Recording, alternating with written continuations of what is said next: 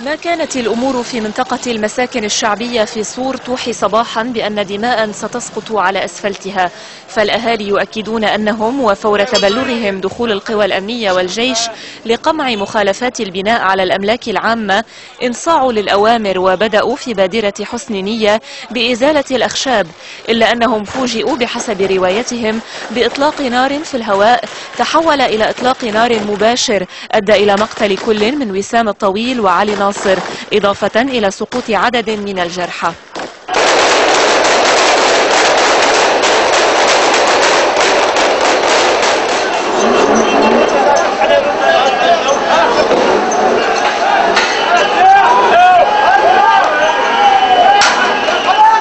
اندلعت مواجهات بين الأهالي من جهة وقوى الأمن والجيش من جهة ثانية فكانت ضفة للرصاص والضفة الثانية للحجارة.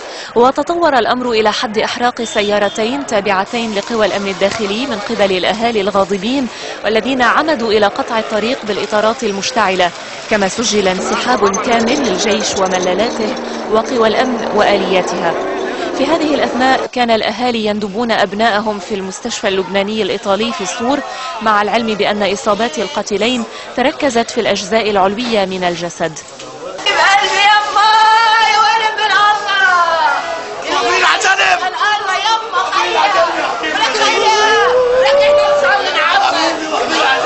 ليست أزمة البناء العشوائي حديثة العهد وقد سجلت سابقا إشكالات بين القوى الأمنية والسكان على خلفيتها لكنها لم تتطور يوما إلى درجة سقوط قتلى. وصلوا قوى الأمن وطلبوا إزالة المخالفة. طلعوا على السطح لهم للشباب اللي بدهم إياه يعملوه. وهلأ بتصوروا دعم الخشب موجود انقام حوالي نصه. كانوا الشباب عم بيشيلوا هيدا الدعم. بالرغم من هيك تعرضوا الشغيلة للضرب واتاخد بطاقاتهم. ونحن عم نقيم الدعم ما سمعنا إلا صوت الرصاص اشتغل وصاروا يصلخوا جارنا استشهد والصريخ قام وصارت معمعة كثير كبيرة. الشاب محبوب من كل الناس كل الناس بتحبه. اجى شوف شو السيري استشهد علي ناصر لينزل نزل ليشيله. استشهد ورا منه دغري هو. هو عم بشيله. هو عم بشيله واستشهد. ليش هيك؟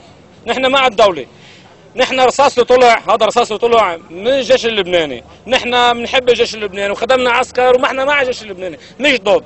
بس في العسكر بين العسكري شي مدسوس ما بنعرف. ليس بيت القتيل وسام الطويل مخالفا لذا يشعر والداه بظلم مضاعف. حبيبتي ابني عم بيعمل خير والله.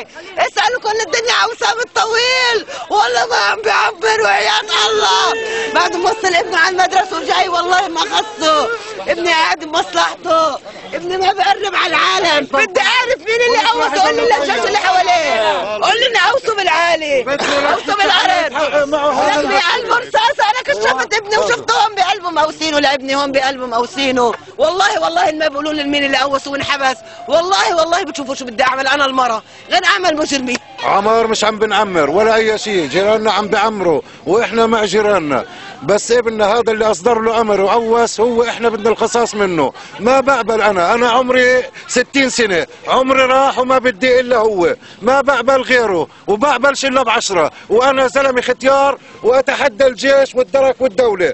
لأنه أنا ما عامل شيء لا أنا ولا أولادي ولا أي شيء. لاحقا صدر عن شعبة العلاقات العامة في المديرية العامة لقوى الأمن الداخلي أن عددا كبيرا من شبان المنطقة تجمهر لإعاقة مهمة قوى الأمن والجيش ورشقوهم بالحجارة.